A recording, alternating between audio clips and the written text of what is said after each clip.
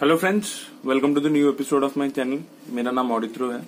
तो आज का ये वीडियो मैं फिर से हिंदी में बना रहा हूँ, क्योंकि आज एक विशेष विषय के ऊपर हम लोग बात करने वाले हैं। तो मैं चाहता हूँ ये बात क्योंकि बहुत इम्पोर्टेंट है तो मैं चाहता हूँ कि ज़्यादातर लोगों तक पहुँचे, एवं हिंदी जो लैंग्वेज है वो ज़्यादातर लोग समझते हैं, इसीलिए हिंदी में बनाने का कारण है, और कोई कारण नहीं है। तो एक फ़िल्म का मतलब एक फ़िल्म के विषय में बात करेंगे, उस फ़िल्म का नाम है लव स्टोरीज जो 2018 में आई थी नेटफ्लिक्स की फ़िल्म थी एंथोलॉजी थी। एक कॉमन थीम के ऊपर चार अलग अलग डायरेक्टर ने चार शॉर्ट फिल्म्स बनाए थे। तो पहली शॉर्ट फ़िल्म अनुराग कश्यप की थी, जिसमें राधिका आप्टे थे। दूसरी जोया अख्तर की थी, जिसमें भूमि पेडनेकर नील भोपाल, ये लोग थे। तीसरी जो थी, दिवाकर बैनर्जी की थी और चौथी थी, करण जौहर की, जिसमें कियारा अडवाणी एवं विकी कौशल थे। तो मुझे बाकी तीन शॉर्ट फ़िल्म से कोई दिक्कत नहीं है। एक्चुअली मुझे पूरी फ़िल्म से ही कोई दिक्कत नहीं है, लेकिन वो जो चौथी शॉर्ट फ़िल्म है जो करण जौहर ने बनाई थी, करण जौहर साहब ने, उससे मुझे थोड़ा प्रॉब्लम है। और पता नहीं, ये शायद वीडियो में तो कुछ लेट ही बना रहा हूँ, वो एक साल पहले आई थी पिक्चर तो जो भी हो, चलिए मुद्दे पे आते हैं। तो इस फ़िल्म का टॉपिक थीम ये था कि कियारा अडवाणी जो लड़की होती है, एक टीचर स्कूल टीचर तो उनकी शादी हो जाती है अरेंज मैरिज विकी कौशल के साथ, पारस नाम का, पारस नाम होता है उनका। तो फिर कियारा अडवाणी महसूस करती है शादी के बाद कि उनको सेक्सुअल प्लेजर नहीं मिल रहा है। तो ये वीडियो का कंटेंट थोड़ा एडल्ट होने वाला है तो जिनको वो सब पसंद नहीं है तो वीडियो को अभी बंद कर सकते हैं। थोड़ा विषय जो है, थोड़ा एडल्ट है, मुझे पहले बता देना चाहिए था क्षमा माँगता हूँ। तो कियारा अडवाणी को समझ में आता है कि उनको वो सेटिस्फैक्शन सेक्सुअल सेटिस्फैक्शन नहीं मिलता है, उनके पति से। तो फिर वो देखती है कि उनके एक जो सहकारी टीचर है, जो जिस कैरेक्टर को प्ले किया नेहा धुपिया ने तो वो एक वाइब्रेटर के साथ अपने आप को सेटिस्फैक्शन दे जो सेक्स टॉयज कहते हैं, वो वो वगैरह।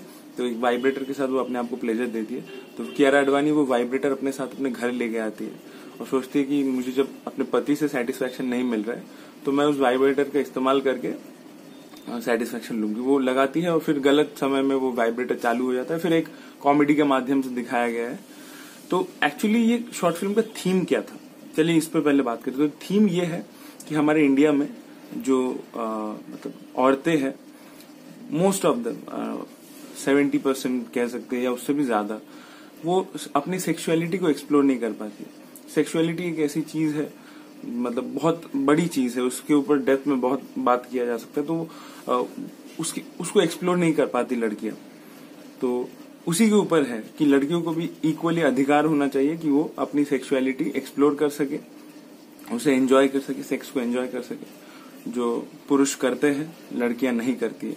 और एक रिपोर्ट जो टाइम्स ऑफ़ इंडिया में भी आया था रिसेंटली आप देखेंगे कि कुछ एडवर्टाइजमेंट में भी उसे दिखाया जाता है कि 70 परसेंट ऑफ़ इंडियन वुमेन उनको मतलब they don't have an orgasm during sex तो ये थीम तो बहुत ही अच्छा है।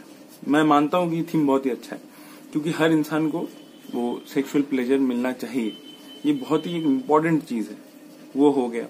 आप अगर विदेश में देखेंगे तो वहाँ पे ये ये सेक्सुअल जो टॉयज है, वो सारे विदेश में ही बने हैं।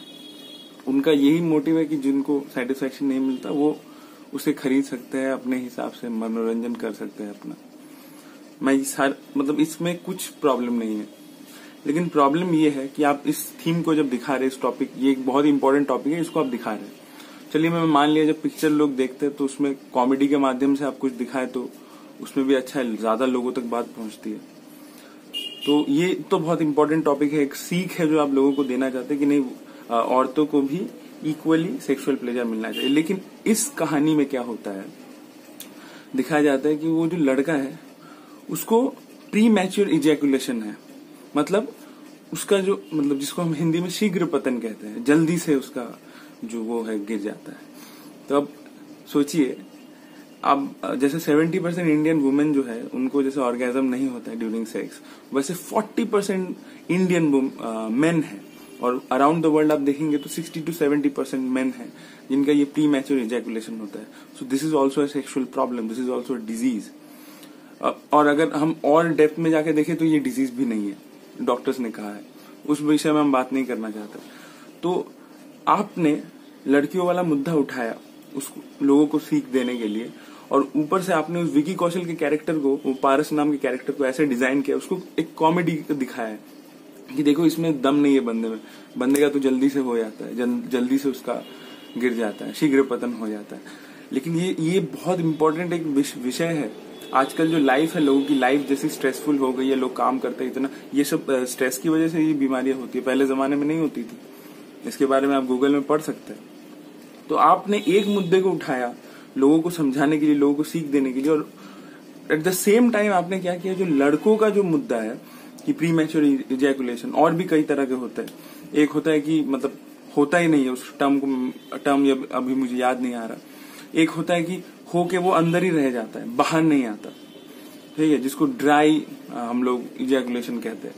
तो देखिए मतलब कितने सारे होते हैं तो आपने क्या किया? वो लड़कों वाला जो मुद्दा है, उसको मज़ाक बना दिया। उस कैरेक्टर के माध्यम से आपने उसको ऐसे दिखाया, ऐसे पोर्ट्रे किया कि उसको आपने मज़ाक बना दिया। तो अभी जब लव स्टोरीज आई थी तो जितने भी ये फेमिनिस्ट लोग थे, जो फेक फेमिनिस्ट या सूडो फेमिनिस्ट है फेमिनाजिस्ट जो थे, उन्होंने उसको बड़ी प्रशंसा की। लेकिन इस विषय पे किसी ने बात नहीं की कि उस चौथे स्टोरी में ये करण जौहर ने ये जो लड़कों वाला मुद्दा है प्री मैच्योर इजैकुलेशन इसका मज़ाक बनाया है। तो क्या हम लड़के इसके अगेंस्ट आवाज़ नहीं उठा सकते? कि ये तो हमारा मुद्दा है बेटा तो तुम इसके ऊपर, इसको मज़ाक बना रहे हो कैसे? किसी भी लड़के ने एक दिन आवाज़ नहीं उठाई। आज मैं ये, इस टॉपिक पे वीडियो इसलिए बना रहा हूँ क्योंकि आप लोग देख रहे हैं कि फेमिनाजी कबीर सिंह को कैसे टारगेट कर रहे हैं। तो वो डायरेक्टर का पॉइंट ऑफ़ व्यू था। मैं फ़िल्म को गलत नहीं बोल रहा हूँ। मैं कह रहा हूँ कि डायरेक्टर का पॉइंट ऑफ़ व्यू था। उसमें तो किसी ने, किसी लड़के ने आवाज़ नहीं उठाई कि भैया ये विकी कौशल के कैरेक्टर से तो आपने पूरे मर्जात की जो ये चीज़ है, शीघ्र पतन, इसके बारे में मज़ाक बनाया है। तो तो ये सब के बारे में आप लोग सोचिए। और करण जो है, जी से मेरा यही प्रॉब्लम है कि ये जो वो कहते रहते हैं कि उनको खुद की सेक्सुअलिटी के ऊपर डाउट है। ठीक है? क्योंकि मैं इसीलिए कह रहा हूँ कि जब आर्टिकल 377 एबॉलिश हुआ, तब उन्होंने इसके बारे में ट्वीट किया, बहुत बढ़िया। लेकिन एक बार एक सोशल प्लेटफॉर्म में उनसे पूछा गया था कि आप होमोसेक्सुअल है तो गुस्सा हो गए थे। तो अगर आप होमोसेक्सुअल है, आप इसके बारे में प्राउड है तो बताइए होमोसेक्सुअल होना कोई गलत बात नहीं है, ये तो भगवान का बनाया हुआ है। तो आप बोलिए उसमें प्राउडली बोलिए, लेकिन आपने बोला नहीं। आप उल्टा गुस्सा हो गए। आपने दोस्ताना जैसी पिक्चर बना दी, जिसमें आपने गे लोगों का मज़ाक बना दिया।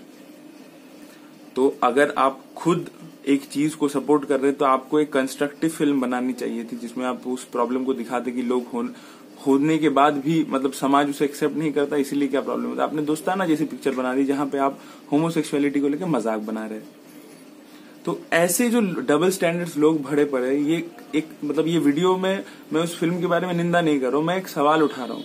कि देखिए, ये जो मतलब इम्पोर्टेंट मुद्दे हैं, जिनके बारे में ये लोग बोलते हैं कि हम लोग लिबरल है, हम लोग इसके बारे में फ़िल्म के माध्यम से बताना चाहते हैं। एक्चुअली ये अपने फ़ायदे के लिए कितना बता रहे हैं, किस चीज़ का मज़ाक बना रहे हैं, कितना दोस्ताना तो दोस्ताना जैसी पिक्चर जो घटिया पिक्चर लगती है मुझे, उसमें क्या किया उन्होंने? होमोसेक्सुअलिटी का मज़ाक बना दिया। ये लव स्टोरीज के उस फोर्थ सेक्शन में क्या किया उन्होंने? उन्होंने ये जो मर्दों वाली प्रॉब्लम है प्री मैच्योर इजैकुलेशन इसका मज़ाक बना दिया, शीघ्र पतन का। तो ऐसे वो लोग एक तरह जो वो मतलब लड़कियों की सेक्सुअलिटी के बारे में जैसे बात कर रहे हो ओपनली दूसरी तरफ़ इसको मज़ाक बना रहे तो ये आप लोग देखिए। और इनसे सवाल है मेरा यही, एक सवाल है कि क्या आप ये लोग सही कर रहे हैं? मतलब एक सब्जेक्ट को उठाने के चक्कर में आप दूसरे को मतलब उसकी निंदा कर रहे हैं, ये कर रहे हैं। तो एक बार सोचिए।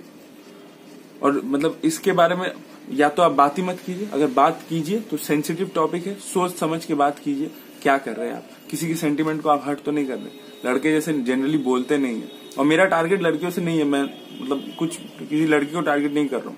मैं बोल रहा हूँ एज ए जनरल जो लोग हैं, जो लोग ये सब करते हैं, उनके बारे में बोल रहा हूँ। बस यही बताना था आप लोगों को। थैंक यू सो मच और अगर वीडियो पसंद आए तो लाइक कर दीजिएगा शेयर कर दीजिएगा और चैनल को सब्सक्राइब कर दीजिएगा। Thank you so much bye bye